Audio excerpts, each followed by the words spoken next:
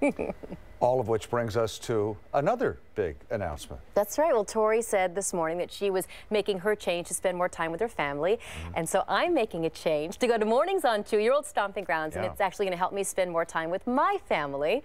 So I'm excited and I hope that you'll come with me to mornings on two if you find it in your heart to watch both mornings on two and KTVU here at five. I already have the uh, dedication of my parents and my siblings. they say they're going to watch. So that's, I think, four households right there. You're going to have so much fun working with Sal. I can't wait. It's great. And you've worked mornings before, so you Absolutely. know what it's like to get up. I know the drill. I have, you know, the alarm clocks. I have, you know, I have a routine that I can fall back into. But it's, I'm going to miss you here. I've had a yeah. lot of fun on the 5 o'clock news for several, several years now. But it's, you know, when I say it's an honor to join Mornings on 2, I mean it. And it's, uh, it's so special. And of course, you know, Tori and I had a great big hug. And I had a piece of her vegan chocolate cake, which was actually very good.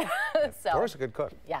And it's going to be strange flipping on the TV and seeing you. I will. I'll miss you at, Aww, at five here, but you. Uh, you're going to do great. Oh, thank on, you. On, mornings on two. Thank you, Frank. So again, it happens what mid June? Mid June, as you know, whatever Tori says she's done, then that's when I'm more than happy to yeah. step in.